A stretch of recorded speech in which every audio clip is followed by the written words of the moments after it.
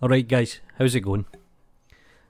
In the last video I mentioned I would talk a little bit more in depth regarding the graph editor and what I'm going to do over the next week or two is actually make bite-sized chunks.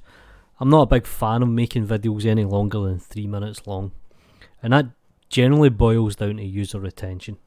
So we can consider this as an introduction video and how to set up your workflow.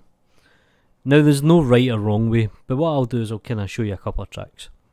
So first of all, we're going to create a new workspace. So if you click this plus sign, we can go to general and I'll make an animation one. Now you can see here, it says animation 001. If we double click, we can rename this and I'll rename this to graph editor. And I'll move this window I'll drag it over here so we've got a little bit more space and I'll change the editor type to the graph editor. Now the shortcut for this is Shift F6 in case you're interested. Now how else can we improve this? We have the graph editor, the dope sheet, can maybe add in the drivers but what I recommend is if you come down to the right here in this window you'll see my cursor change. So we can drag this up and it'll add a new window. And generally what I do is I just change the perspective mode into an orthographic now, I'm used to actually working in a quad view, but for now this is pretty damn good.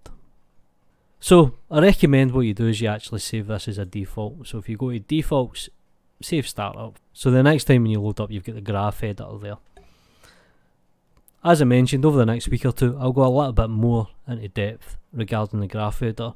If you have any questions or comments, stick them down below. I'm more than happy to help out. Do me a favour guys, like and subscribe the video, it does help the channel out and obviously I'm trying to grow the channel. If not, enjoy your weekend, have a nice time, peace.